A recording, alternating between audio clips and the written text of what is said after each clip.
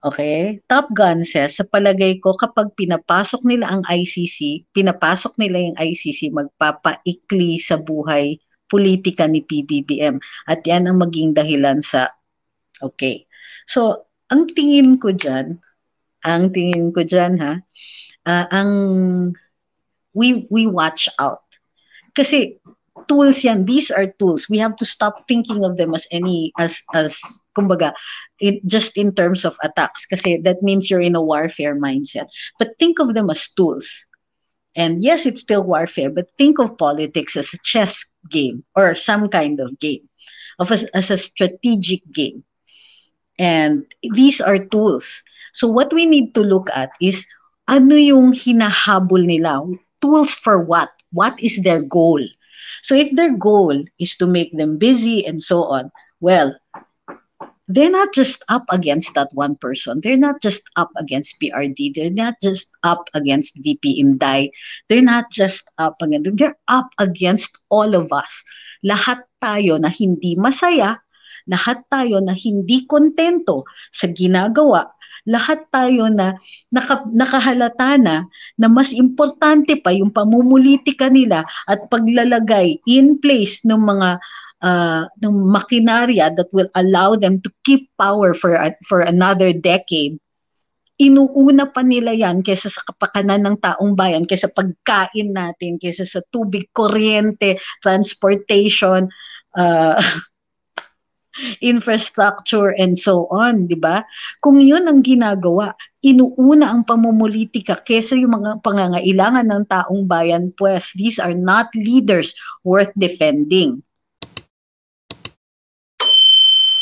Magandang umaga sa inyong lahat. Yes po, para dun sa mga nakasunod sa aming Facebook page, hindi ko pa na-upload sa ano sa sa Instagram at saka sa Threads, may pictures kami with uh, FPRD, so otherwise and affectionately known as Tatay Digong. So we had talk last night. Mostly it's it's chit chat, no? Which um, I had the pleasure of ano of discussing certain things with him, and you know we had the benefit of uh, of his observations as well. One thing that stood out is that he seems to be signifying a return to politics. Yes, you heard that right seems. Okay, he could still change his mind. Of course, he can change his mind at any time. Pero, um, it doesn't escape him. Kumbaga, hindi naman niya, hindi naman siya bulag sa mga pangyayari ngayon. Uh, hindi siya bulag doon sa mga kakulangan, kumbaga, sa ating lipunan, particular na rin doon sa mga serbisyo ng uh, ng gobyerno sa ngayon. Um, I don't want to go into specifics kasi hindi naman kami ano, no, hindi naman ito you we were just we were talking kumbaga. And as we all know may pahiwatig siya kahit noon pa natatakbo siyang senador. Um, pero kino-consider din niya and this might come as a shock um, he might consider pati ano either the Senate or Congress. Sa tingin nyo, bakit niya kino-consider yung Kongreso? Well, if you think about it, medyo brilliant move yun. If ever he considers, uh, kumbaga, if ever seryosohin niya yung pagbabalik sa politika, at kung sakasakaling bumalik nga siya sa politika, hindi necessarily na ang itatakbo niya ay sa Senado. Most likely, well, it's, kumbaga, part sa consideration niya ay ang tumakbo sa Kongreso. And ito ay maliwanag kung bakit. So, uh, ayan na, ang bilis talaga ng mga trolls dito sa ano sa sa YouTube, no. Gayon pa man.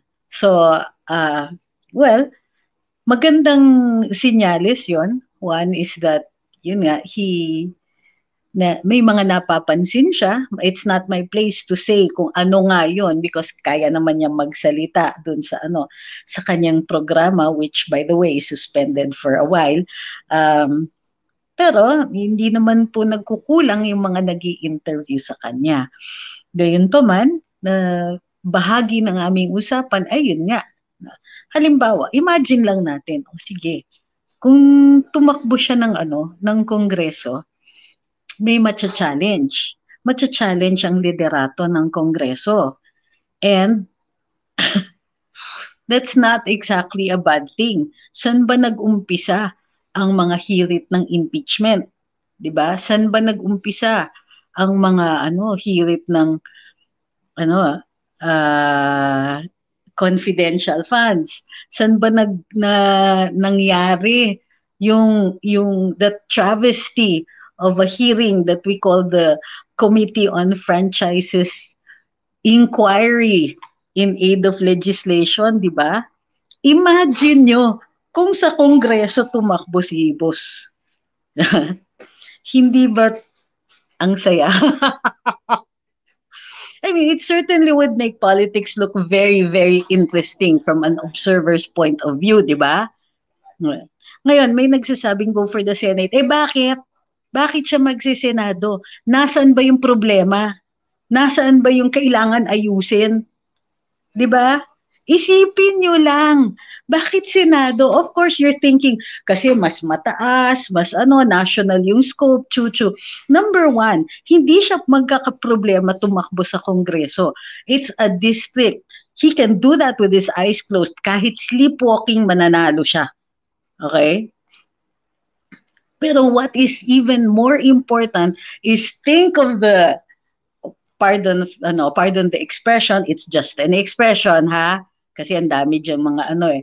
But think of the damage that he could do. It's an expression by the way. So saan ba ang issue? Eh hindi ba doon? Now imagine the former president making privileged speeches in Congress, putting in their place 300 people. Hindi ba kakabongga yung yung ano I, my mind is blown by the entire idea. Can you imagine? So can you imagine what would happen if if that were so? Can you imagine halimbawa yung mga kongresista na na kahit ang tagal-tagal na doon, eh, hindi pa rin nila naiintindihan ang parliamentary procedure, hindi pa rin nila naiintindihan what an inquiry in aid of legislation is, or hindi nila naiintindihan just how bad they look when they're, ano, when, when, when they're showing up there and doing all of these things. So, para sa akin, the wild card talaga si si Pangulo. And even if he doesn't, oh my gosh, the mere fact that his presence is still being felt in Philippine politics makes things much, much more interesting now. Now, here's something also what I heard. Grabe, di ba? Grabe. So, what if he runs at i-challenge niya yung speakership? Imagine, Di ba? Anong gulo yan? Anong kaguluhan yan? Sabi ni ano, ni Evie, nagising ako sa ideya na yan. Go ahead. I'm not saying it's gonna happen, but it certainly was something that he was thinking about last night nung nag-uusap kami, I mean, I had the advantage of sitting next to him during an event eh. So, namin namin chikahan. Chika talaga kaming bonggang-bongga. And I'd say, well, Congress. Why not Congress? so, oh, so, para sa akin, the return to politics, matagal naman yan ang sinabi yun. I'm thinking of returning to politics or I have no choice but to go back into politics. You know, I think that maraming nagre-react. Kaya ang daming ano, ang daming napapraning kumbaga. Kasi there's certain actions ng ilang mga opisyalis natin that can only be explained by one thing, panic or fear driven by fear. So they're trying to get rid of as many obstacles to their plans as possible.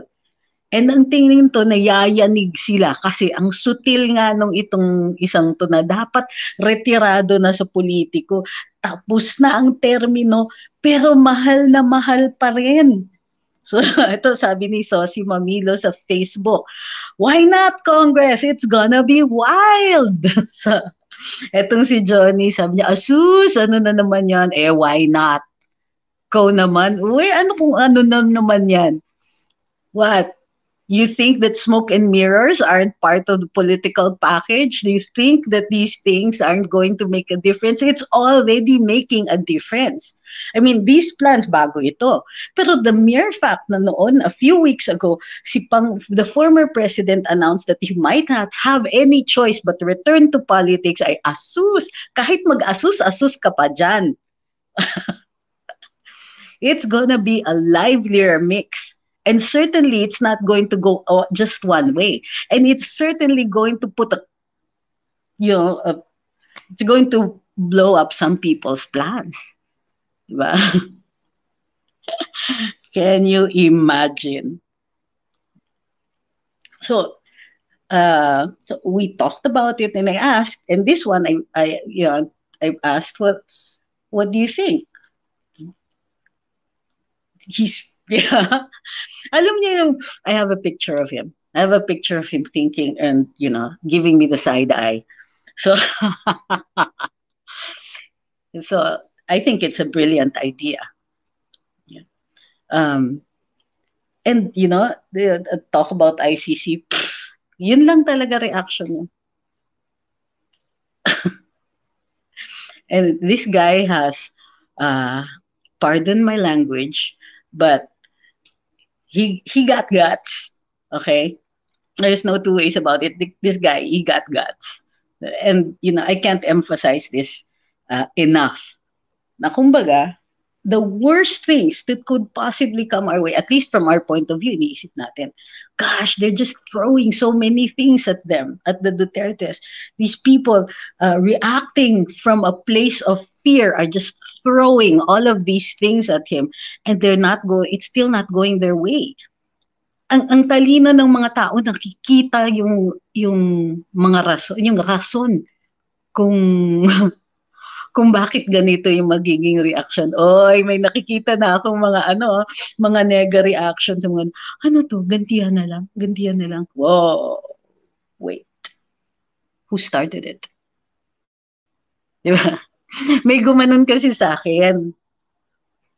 Sabi nila, eh sino ba nag-umpisa? Sino ba nag-umpisa? Ganon. Oh, really? Well, let me answer that question. Sino ba yung napraning? so, as an international relations student, what would be your advice? Sabi ni Makdu. Makdu.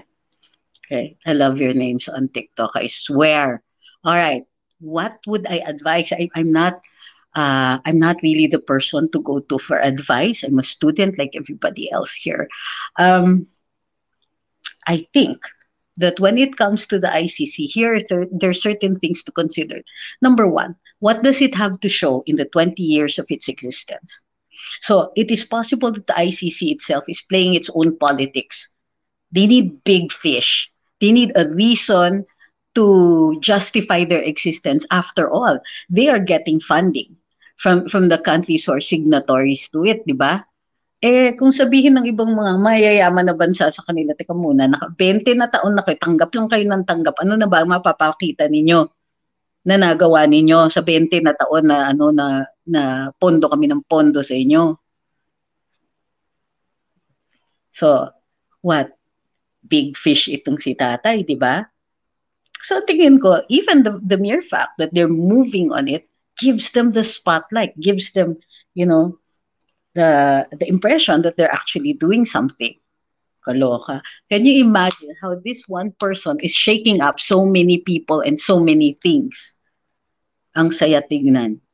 Ganyan kaya na, I mean, I mean, this guy is a man, but the way you're reacting, I swear, di ba? Sabi ni Ken, nice idea na malinisan ni PRD ang Congress at makontrol pa niya ang mga buhaya di lang sa Kongreso pati na rin sa Senado at Executive. And also, what did he ask Congress to do? Open up the books, open the books, open the books. Can you imagine? think of that major shake-up sa Kongreso pag tumakbo siya dyan. Eh, ang ICC nga, ginagamit siya for their own, you know, para umangat-angat yung international impression sa kanya. Di ba? just, just think about it. And, you know, can you imagine how other people will start to feel from now on? Look, look what's going to, ano, what's going to happen? Hello, if he runs for Congress, what other things can people start thinking up? Hmm. All we needed is this one person to tell us, okay, sige, let's do something like this. It's a simple matter, but it might inspire other people to think up of also other things. Baka naman meron dyan na pwedeng, ano, pwedeng, uh, baka gusto niya na ng iba sa inyo, i-consider nyo. Maybe it's time to change these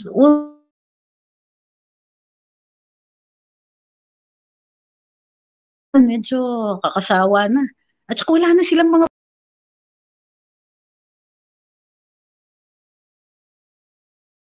things they're not not even renewing things. They're not giving new life to this government. They're not coming up with fresh ideas. Nobody's standing up and saying okay it's time to catch up on our infrastructure. We've paid, we've, you know, napabayaan na natin to masyado matagal. Or, you know, kailangan na natin iangat ang, ang quality of life ng, ng, ano, ng, ng ating mga tao. Di ba? o yung magsasabing ano wala hindi po hindi po nawawala yung signal ko uh, At saka yung mga nagsasabi get away sa ICC. Unang-una, that's an international body. And what is the rule in international relations? Anybody? What's the rule in international relations? The first rule is sovereignty. The first rule is when a country says, you know, uh, I govern myself. Yun po yun. That's the first rule. And then what's the second rule? Diplomacy all international relations comes down to one basic concept diplomacy, diplomacy, diplomacy. Sabi ni M3N Tech Philippines, paano mananalo speaker si PRRD? Ganyan, ganyan. You know, that's exactly what they said when he ran for president. Paano mananalo for president? Kanila yung smartmatic, mas mayaman yung kalaban, wala naman siyang congressman, wala naman siyang hawak na mga mayor hello, and the rest is history. Never count this guy out. I would never count this guy out. And I would never say, paano niya magagawa yun? How can he succeed in this or that? Newsflash, retired na nga siya. So much fear in certain people and they are acting exactly like that. They're acting afraid. And that's what all of this is about. It's some people acting afraid.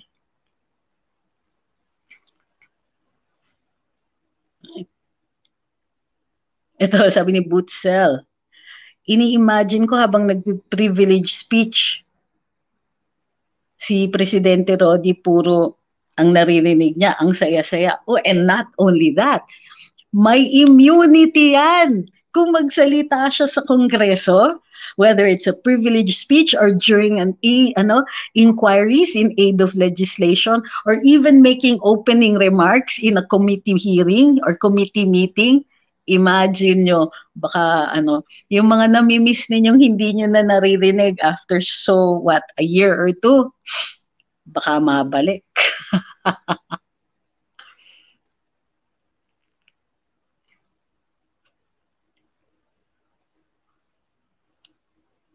Sabi ni Maria Aihara, it sounds selfish, but we need PRD to run and it's a home run if he runs as congressman. I know, right? He's going to run in his district, which he's gonna win with, you know, like I said, kahit matulog-tulog na lang siya. Yun na yun. Okay, para dun sa mga nanonood sa Facebook, pero sabi nila medyo mahina ang signal, we're on YouTube and we are also on, ano, on TikTok. So,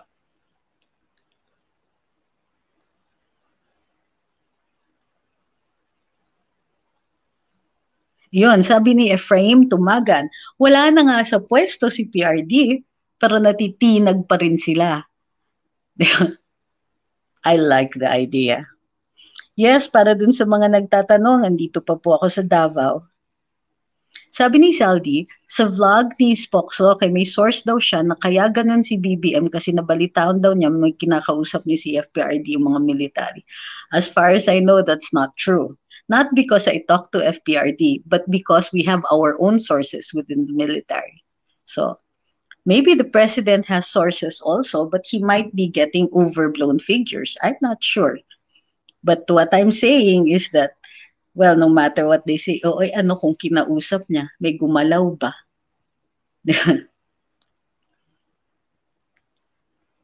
Sabi ni Basario, uh, sarap makinig. Excited na ako maging party si Tatay Diggs sa Congress. Binabakuran masyado nila si Tatay Diggs.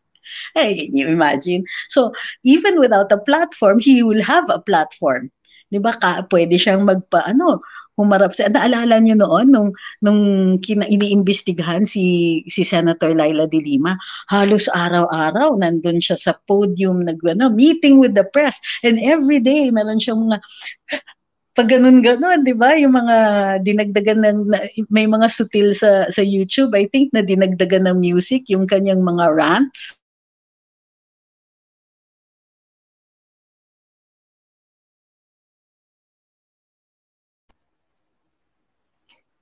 Ito, ito, sabi ni Dennis Del Rosario sa YouTube, imagine si FPRD ang speaker. That's the right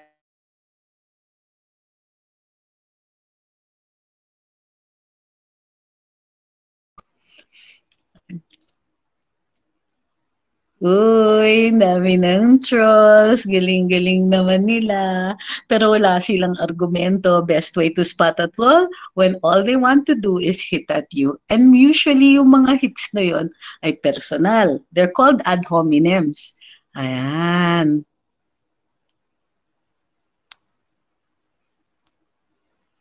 Ayan, no? So, at saka, the, the, the proper way to address these are simple. Block, delete. Because we're not going to give them, from now on, they're not going to get our audience. They're never going to be given our audience and our access. Tandaan niyo po yan. How we're going to deal with trolls from now on, deny them our access. Bakit? Tayo yung maraming followers eh. Tayo yung marami. So gusto nila punta sila dun sa wall natin tapos magwawala sila doon. They'll they'll hit you, they'll hit the our, you know, our our side, 'di ba? Um and so on using our audience. Ha, block delete. Okay, para dun sa mga may TikTok na nanonood sa ating YouTube at saka sa Facebook, if unstable po yung signal, mas stable sa TikTok. Although I understand na yung iba dito walang TikTok, stay lang kayo but I think best ang YouTube pa rin.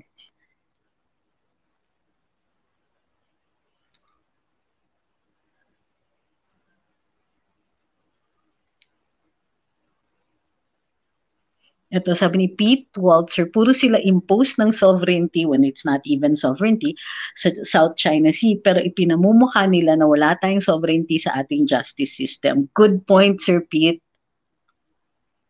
Ito, sabi ni PBNZ 350, yes, cha-cha only during tatay's time. Correct. Bakit? Pagkakatiwalaan ba natin itong mga taong to na kung ano-ano na ang ginagawa sa sistema. Hello, ano bang ginawa nila sa SMNI? May we remind you, mga magagiting na ano na kongresista at ang equally magiting commissioner ng National Telecommunications Commission, ang due process po binibigay bago magpataw ng penalty.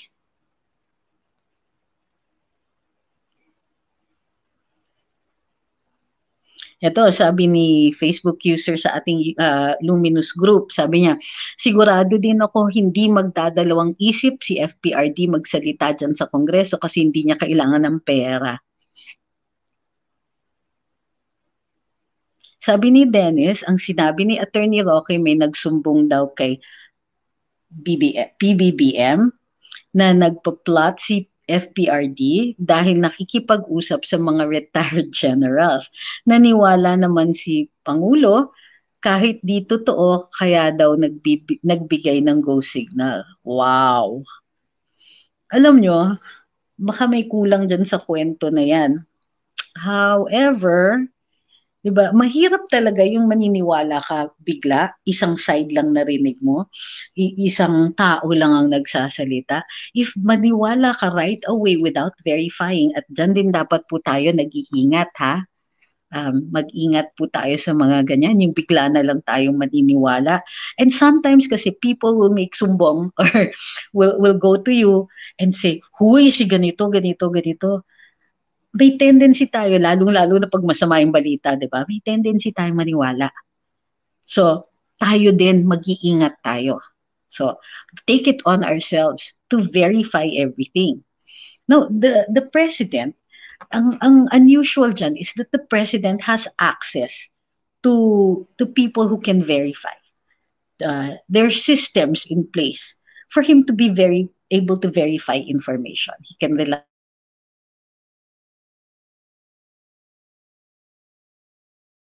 if he did not if he did not make use of these systems or these people or this expertise then you know he needs to learn to do that very very quickly.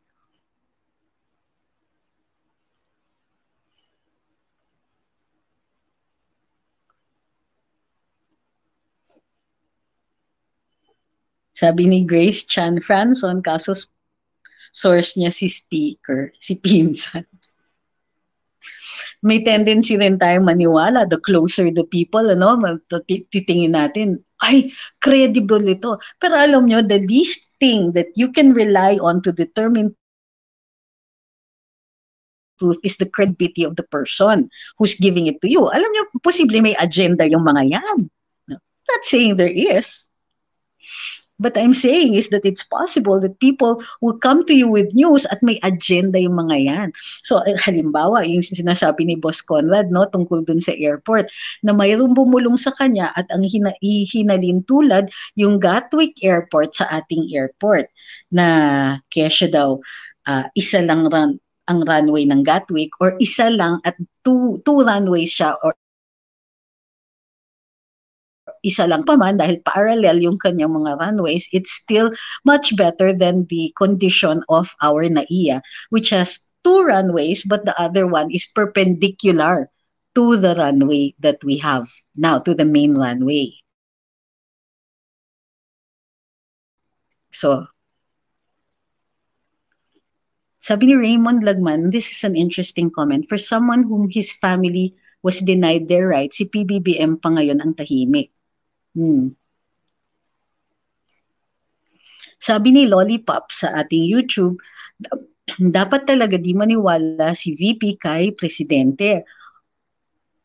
Uh, parang ginamit lang ni presidente si VP para manalo.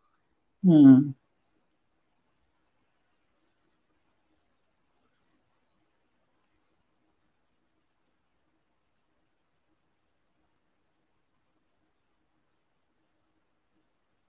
Ito sabi ni Bisaya Nation, si Dado Enrique, PMR Class 83, Godspeed po. Godspeed din po talaga sa lahat ng mga magigiting na alumni ng Philippine Military Academy na yanig nyo rin po ang Kongreso. And interesting yun eh. Ba? Interesting yung player na yun, yung player that is the military. If this were a chessboard, ma, ma ano, maganda na mayroong maraming gumagalaw, kumbaga maraming moving parts dito. Mas mahirap i-predict yung susunod na pangyayari. Uh, Paolo Guela is asking, can I take law even if I'm a BS Ed degree holder? Yes po, basta makatapos po kayo ng isang four-year undergraduate course. Although some law schools will require you to have finished certain courses like logic, um, dati required ang Spanish because some of the cases are still in Spanish pero mga dalawa or tatlo na lang yon So hindi na po nire-require ang Spanish. Um,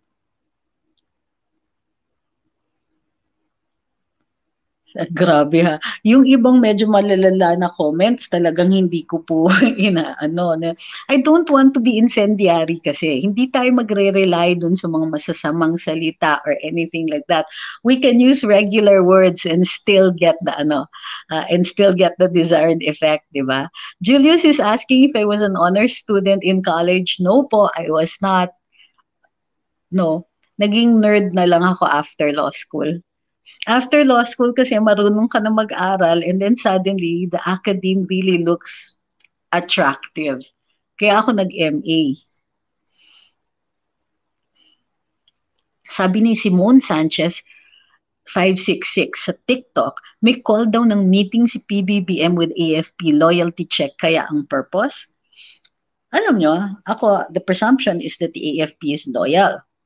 But, um, a loyalty check actually isn't an actual loyalty check since loyalty is presumed. Uh, it's uh, it's a check, meaning it's a warning.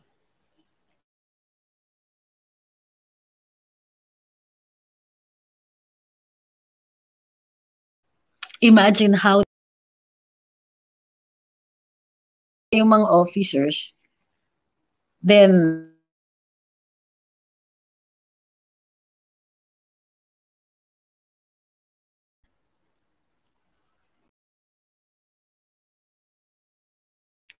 on the other hand, on the other hand, if they are, would that stop them?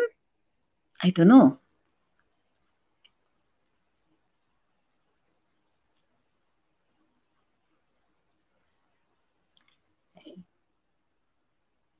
Sabi ni Manuel Salsa Jr., saktong tatakbo si FPRD. Oy, we don't know that. He is considering it. That's what he said.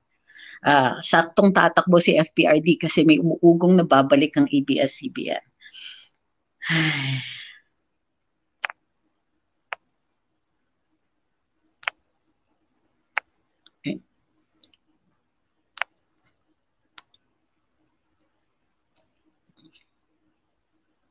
Natatakot na po.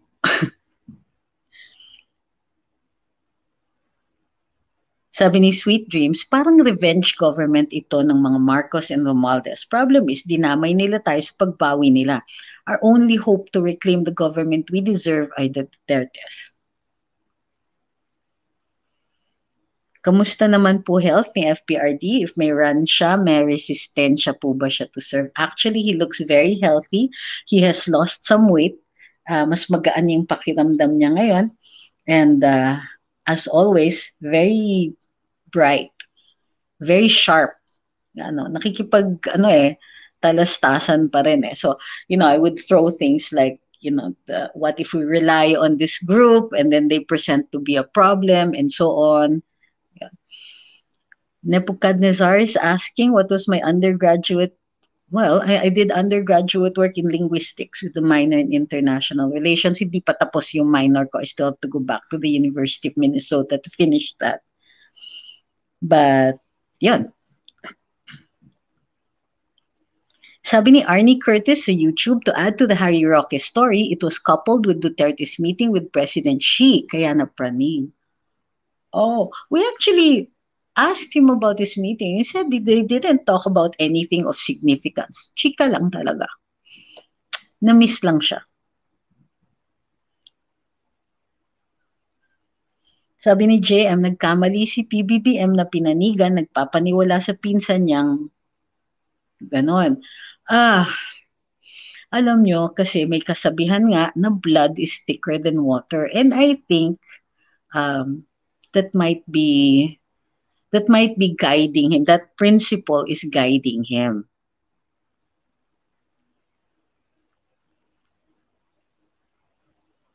So, ang ano ko ngayon is, ang kailangan, what, in the meantime, hi kay Eric, kay Eric Ongdueco. So, ang gusto ko ngayon, well, not gusto ko, ang tingin ko is that what we should be doing is to continue in, you know, informing the administration that we are not happy with certain things. It would help kung mas specific tayo, di ba? Halimbawa, hindi po kami happy doon sa mga gastos ng Kongreso. Halimbawa, hindi po kami happy na tila kung mayroong um, concurrent resolution number 10, how about yung ibang mga gastusin ninyo, like yung extraordinary expenses? Anong, paano nyo po yan nililiquidate? Meron po ba? Kasi wala naman po kaming nakikita ng mga report ng COA tungkol sa mga gastusin na yun. Wala pong kumakatok, may nag nagre-repair in the next room apparently. So, ang lakas pala ng mic ko kung gano'n, naririnig pala ninyo yung katok. Sabi ni Noni, I'm just worried about Sarah's trust rating na malaki ang binaba. She has to recover her lost political capital. Well, that's where we can help. Kasi nga, sa mga tira sa kanya, ang ginagawa kasi ng mga, well, mga trolls, ng mga nagko-crawl into on the internet and just posting comments they're they're the ones who are causing the loss of trust but if if yung loss of trust na yun ay dahil lang doon then that can be recovered by explaining so ang importante dito is to point out that somebody is trying to mislead the people na mayroong mga forces dyan na gusto na dinlangin tayo sa totoong mga pangyayari. Okay? Top Gun says, sa palagay ko, kapag pinapasok nila ang ICC, pinapasok nila yung ICC, magpapaikli sa buhay politika ni PBBM. At yan ang maging dahilan sa, okay. So, ang tingin ko dyan, ang tingin ko dyan ha, uh, ang we we watch out. Kasi tools yan. These are tools. We have to stop thinking of them as any, as, as kumbaga, it, just in terms of attacks. Kasi that means you're in a warfare mindset. But think of them as tools. And yes, it's still warfare, but think of politics as a chess game or some kind of game, of a, as a strategic game. And these are tools. So what we need to look at is ano yung hinahabol nila? Tools for what? What is their goal? So if their goal is to make them busy and so on, well, they're not just up against that one person. They're not just up against PRD. They're not just up against VP Inday. They're not just up against, they're up against all of us. Lahat tayo na hindi masaya, lahat tayo na hindi kontento sa ginagawa. Lahat tayo na naka, nakahalata na na mas importante pa yung pamumulitika nila at paglalagay in place ng mga uh, ng makinarya that will allow them to keep power for for another decade. Inuuna pa nila yan kaysa sa kapakanan ng taong bayan, kaysa pagkain natin, kaysa sa tubig, kuryente, transportation, uh, infrastructure and so on, di ba? Kung yun ang ginagawa, inuuna ang pamumulitika kesa yung mga pangangailangan ng taong bayan, pues these are not leaders worth defending.